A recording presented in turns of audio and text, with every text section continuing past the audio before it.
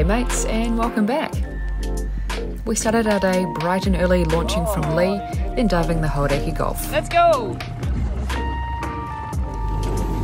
Davie and I are diving off our friend Dan's new boat, which is yet to be named but soon to be christened with a deck full of delicious fish. The Viz is the best we've seen in a long time, and being mid spring, the water is starting to warm up, so we're pretty excited. We gear up, we get straight in.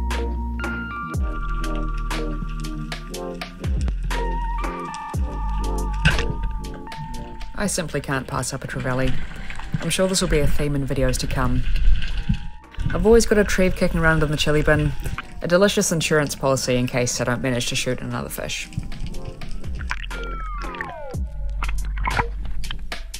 The general theme of this video is a bit funny. Uh, you'll kind of see more shots being fired than fish being landed. It's entertaining for you, but it's pretty painful for us. Speaking of painful, let's rip the band aid off and head into some absolutely humiliating footage of me trying to shoot this boarfish, which of course is the target species on this dive trip. When targeting boarfish, you'll generally find them sitting out like this, just out in the sand, not too far away from the weed line. They're usually pretty easy to approach from above in their blind spot, so you can kind of sneak in a shot through the head from above. Well, that's how it's supposed to go anyway. Luckily for me, the Bory hasn't completely spooked and he's given me another go.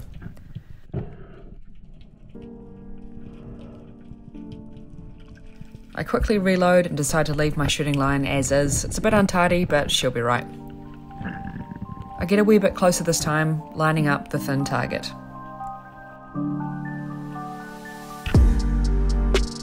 I am in disbelief, missed again. I even made up the excuse of it being a thin target.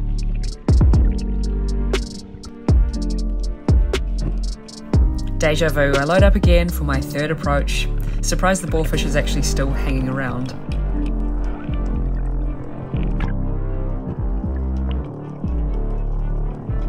I make things a bit easier this time for myself and go down on more of an angle so I can actually, you know, hit the target. I'm convinced this fish just felt sorry for me and it let me hit it. Thank you, fish.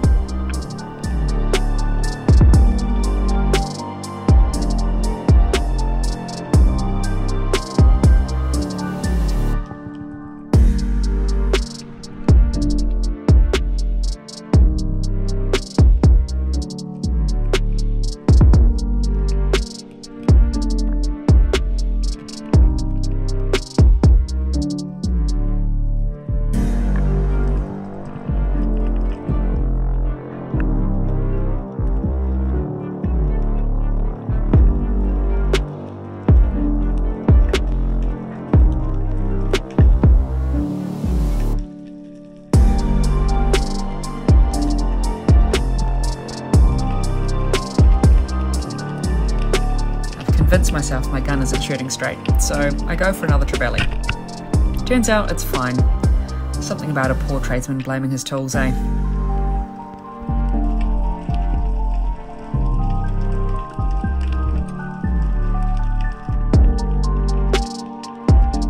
There's a bommy nearby, so I decide to poke my nose over the ledge to see if there'd be a snapper parked up.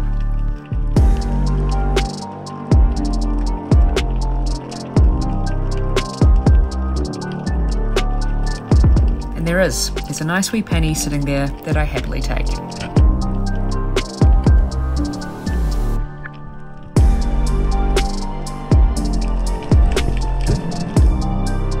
Back at the boat, Davie has a smile on his face and a story to tell.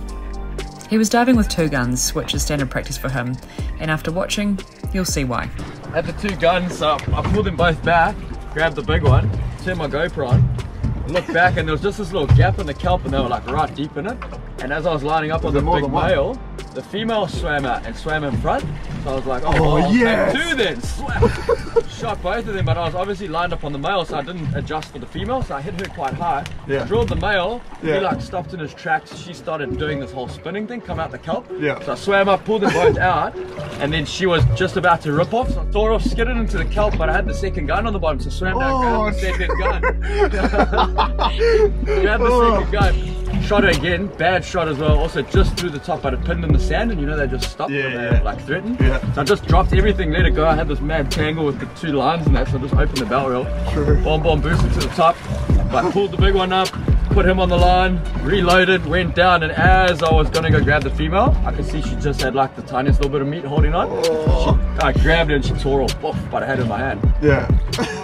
Dan shot one as well, so that means all of us have got our target species for the day, even if it did take a couple of shots.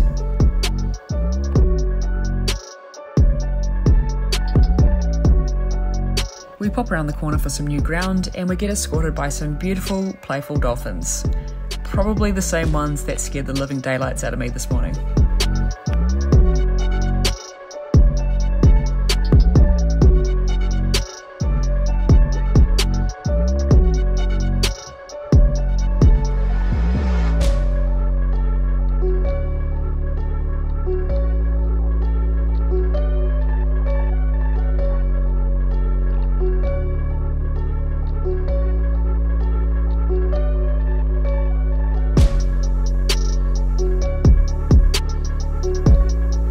Is going to go and have a look for some crayfish, and I'm going to go and try and find another snapper.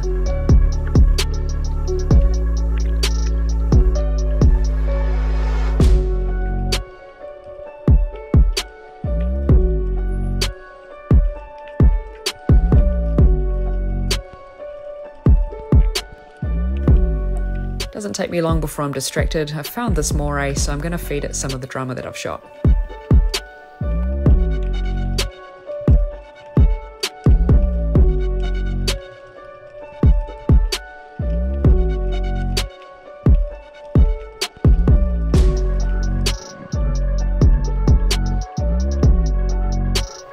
I've found some trash lodged under the rocks here.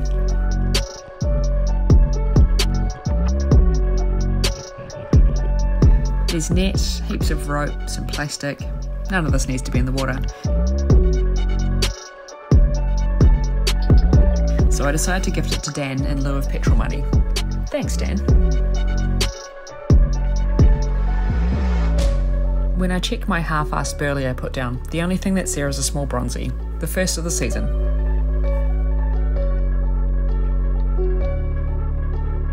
Being the absolute slayer he is, Davie's got a couple of bugs. what do you got there, mate? Holy! dogs in there. yeah, nice. Is that what you wanted? One million holes later.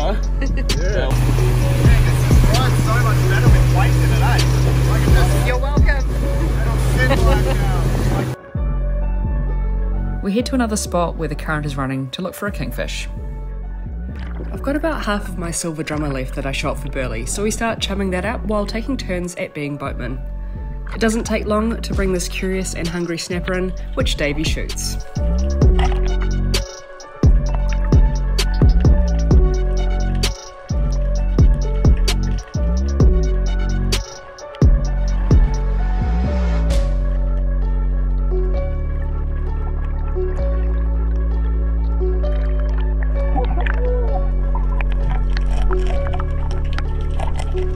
More burley, bro. It's cooking on it.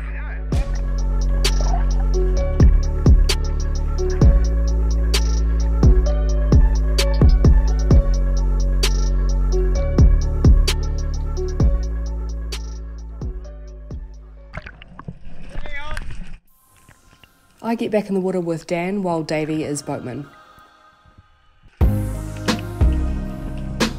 Dan shoots a nice kingfish and I stay nearby.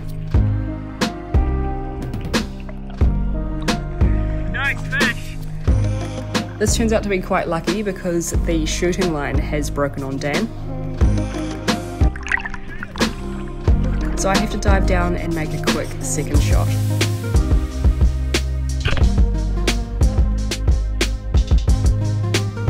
Really lucky that I managed to shoot this one. I was really paranoid I was going to miss it.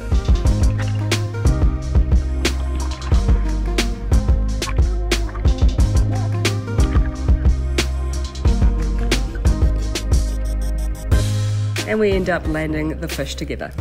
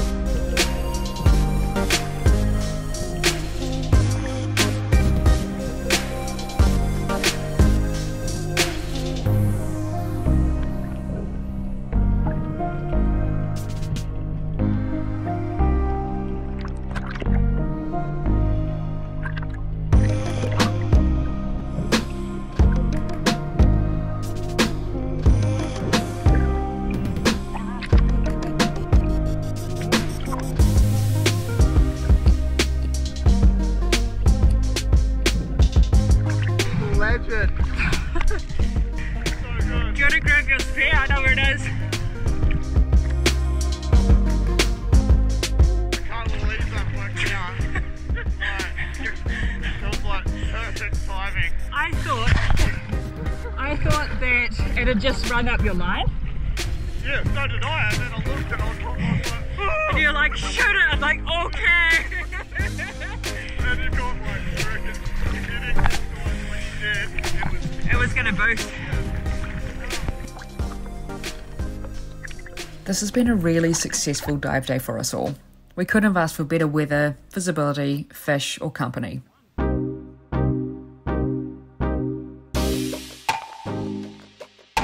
We pull anchor and head back in the evening sun, thinking about what delicious meals we're going to make with our catch.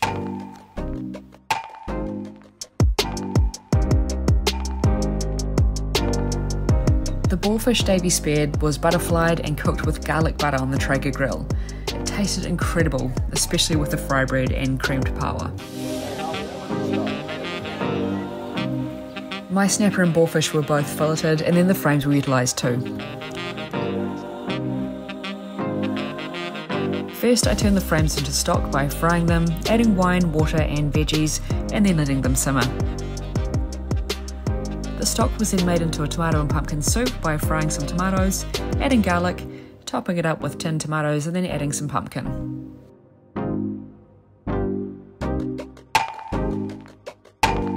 With a nice fat slab of Dan's kingfish, I did a beetroot marinade. I left it overnight and then ate it raw.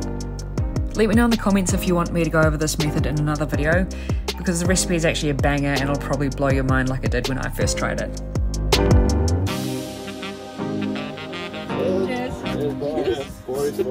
Anyway, cheers for watching, like and subscribe if you want, and I'll catch you on the next one.